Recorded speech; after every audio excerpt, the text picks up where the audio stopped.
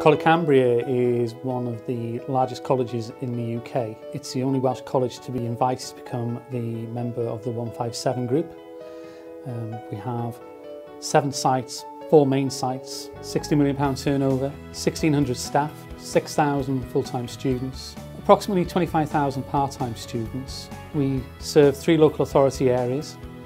We have six subcontractors. We must meet Welsh Government priorities respond to Estin, which is our was it, uh, inspection body, and also be ready for a short notice was it, inspection at, at all times. England and Wales has a common inspection framework. Active Dashboards allows us to be prepared if the inspection regime changed.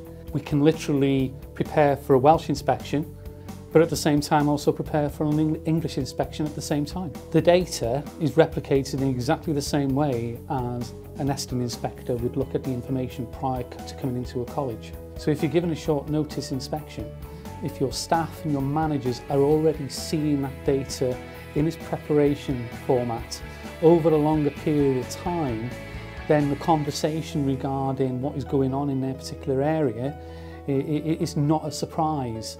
um, you make your staff aware of how an inspector is going to inspect uh, and share the information in exactly the same way.